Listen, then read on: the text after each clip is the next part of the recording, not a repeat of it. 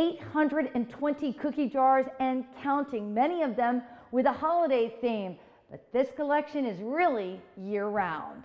They go together like milk and cookies. Mary Schrader is known for her cookie jar collection, only they're empty. Do you make cookies? No, no. As my husband says, I've got 820 cookie jars and never baked a cookie in my life. Schrader's jar collection is getting so big, it occupies most of the second floor of her Tampa home. So you might wonder, how does a cookie jar make the cut? If I don't have it, that's it. There are some for the seasons, others for no reason, and you might even spot jars that are famous. Here's Lucy, Desi, Fred, and Ethel, and their, their trailer. Look, the gang from I Love Lucy.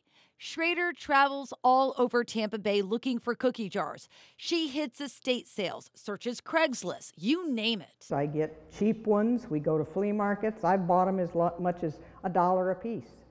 What's the most uh, you spent on one? A hundred. Point is, if there's an interesting cookie jar out there, Schrader will find it. But typically, they're not in this pristine condition. They've usually got plenty of grease on them and dirt. They all get a good washing before they come up here. They get dusted once a year, whether they need it or not. And you never know what jar will join the collection next. Now, I can't be 100% sure, only Santa knows for sure, but I think this is 821 cookie jars. In Tampa, I'm Gayle Guyardo, News Channel 8.